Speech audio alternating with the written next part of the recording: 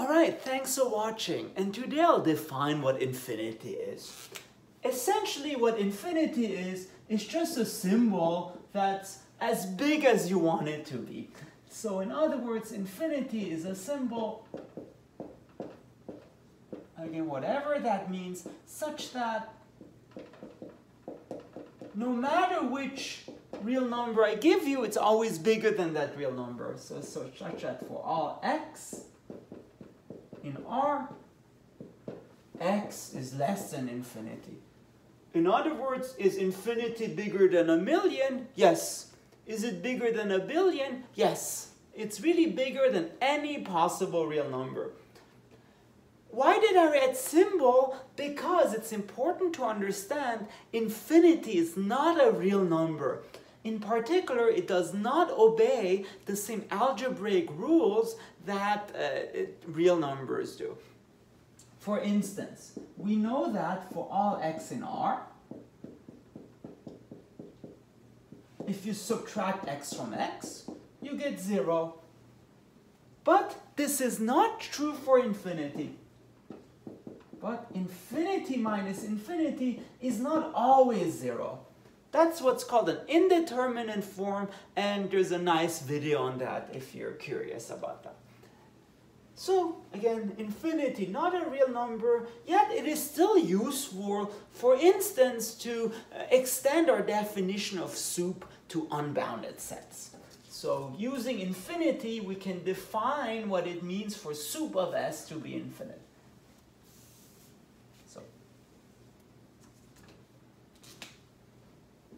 Definition. So we say the sup of S is infinite simply if S is not bounded from above.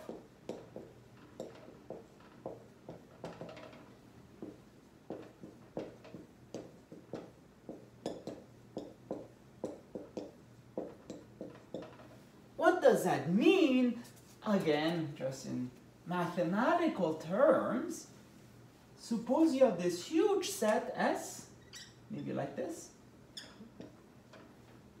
not bounded from above means the following. If I give you any huge number m, so for all m in R, m in R, I can always find a bigger element of S. In other words, there is S1 in your set that is bigger than M. There is S1 in S. Again, it's important that it's an element of S such that S1 is strictly bigger than 1, M. So in other words, is there an element bigger than million? Yes. Is there one bigger than a billion? Yes, as well. So for instance, an example of an un a set that's not bounded from above, it's simply the interval 3 comma infinity. So it's like infinite from one side. And similarly, there's a definition of the inf being minus infinity, it's sort of the opposite scenario. So in other words, we say that the inf of S is minus infinity if S is not bounded from below.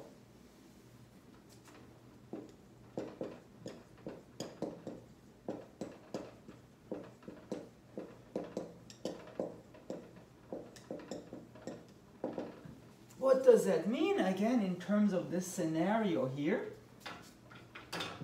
Now, consider the following set S. It means no matter which number I give you, think negative a million, you can always find some element in S that's smaller than that number. So in other words, for all little m, in R, you can always find some element in S that is smaller than M. So there is S1 in S with S1 little uh, smaller than little m. So is there an element less than minus a million? Yes. Is there an element less than minus a billion? Yes. For instance, again, this set, minus infinity comma 1, the infimum is minus infinity. And why is this definition nice? Because now we can just rewrite the least upper bound property in a very elegant way. So again, what does the least upper bound property say? It says if S is bounded from above, then the supremum exists. So LUB property But now it turns out if we have this definition with infinity, we don't even need S to be bounded from above anymore. So in other words, all that it is now is that if S is a non-empty subset,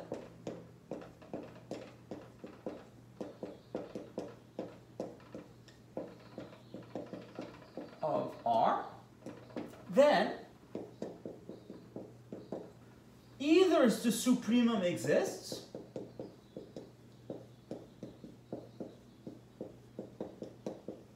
exists, that's when it's bounded from above, or the supremum is infinite.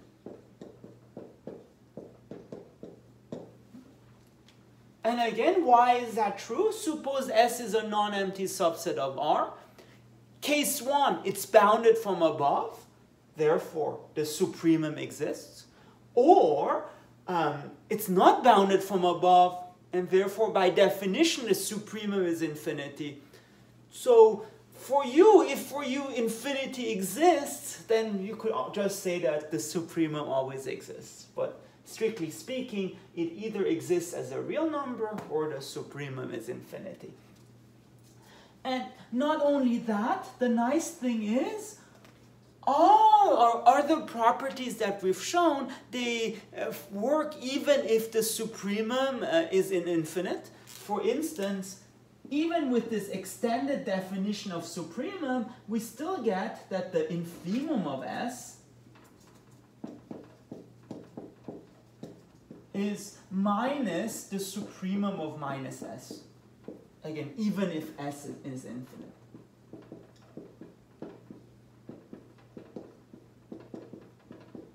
Not, not bounded, let's say, from above or uh, below. You see?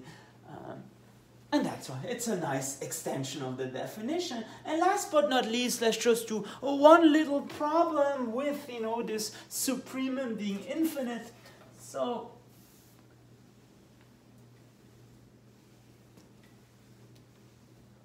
for instance, consider the following set. So let's find the sup of S, where S is the following sequence, so it's uh, n, n squared times minus 1 to the n, where n is a natural number. So what does this sequence look like? Notice minus 1 to the n is either minus 1 or 1. So essentially, this sequence sort of travels on two parabolas, one being y equals x squared, and the other one, y equals negative x squared. And so in particular, the first point, minus 1 is here, the second point, 4 is here, and then minus 9, 16, minus 25, etc., etc. So in other words, S looks as follows. Again, it starts at minus 1, and then it goes to 4, again like this, and then it goes to minus 9, and then it goes to 16, and then minus 25, etc., etc. And in particular, notice S, if you want the next term here, kind of looks like it's not bounded from above. In other words, it looks like S is just blowing up to infinity Again, not all the terms, but at least a couple of the terms. So it might be reasonable to guess that the supremum is infinite. Claim the supremum of S is infinite So all that we need to do, again, given any number m, what we want to do, we want to find some term of the sequence that is bigger than m. So given m, find something, so find n such that, again, the term of your sequence, uh, n squared times minus 1 to the n, is bigger than m.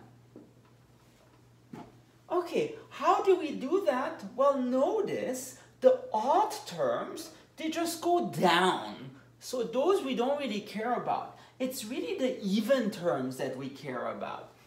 And in particular, notice if n is even, I can't even.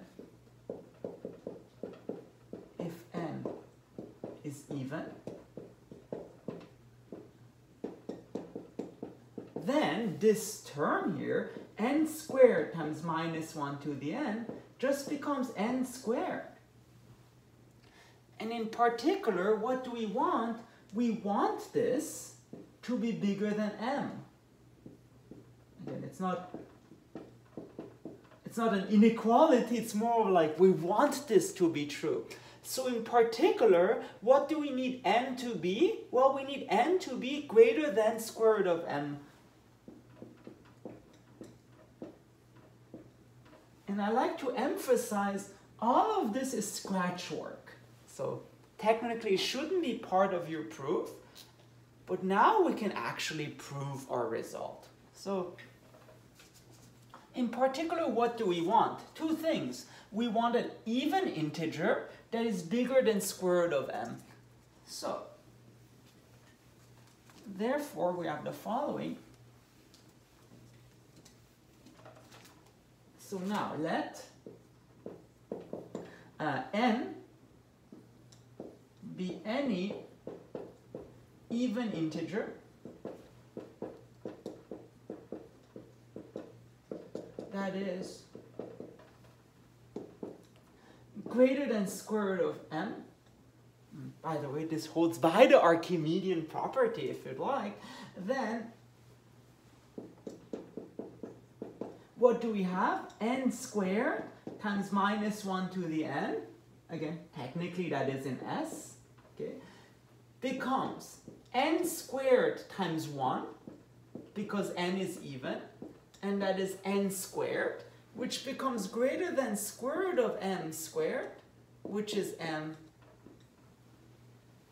So therefore with this choice of n we get that this term of the sequence is actually bigger than m and therefore we have shown that uh, the supremum of s is infinity. All right, and that's all for today.